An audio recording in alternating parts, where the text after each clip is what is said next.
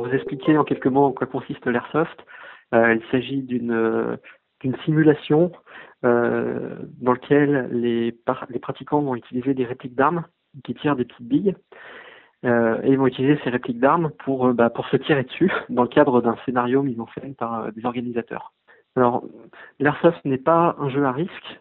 Euh, ce qui peut se passer, par contre, c'est un risque quand il y a certaines certaines pratiques, on va dire, qui sont faites un petit peu en dehors des clous, bah, comme c'est arrivé avec la, la, manipulation de produits chimiques, qui malheureusement, enfin, qui n'a rien à voir avec l'airsoft.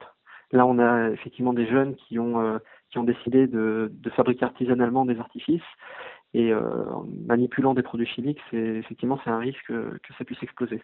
Concernant les, vidéos sur Internet, euh, donc je pense que tout à chacun doit, être un petit peu méfiant de, de ce qu'on va trouver ou de ce que nos enfants vont trouver sur Internet, euh, sachant que là on n'est pas spécialement forcément dans l'airsoft, mais on peut être dans, tout et n'importe quoi malheureusement.